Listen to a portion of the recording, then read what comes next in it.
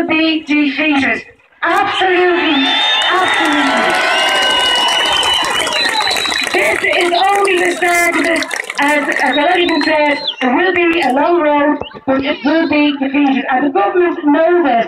They are flip-flopping all over the place, making concessions, saying that everybody, like everybody, one one person in the audience, 100 euro per household, and they're trying to send us homes off the table. We will not, we will not accept that. It's abolished the water tax and nothing else.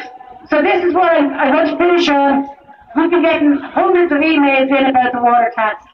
And one of them was headed, uh, what was it, uh, excuse me, uh, it has power people versus the people in power.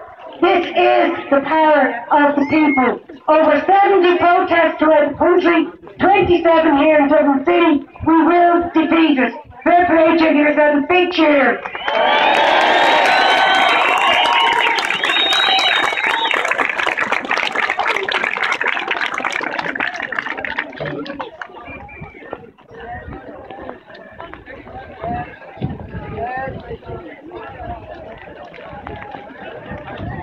Hold on.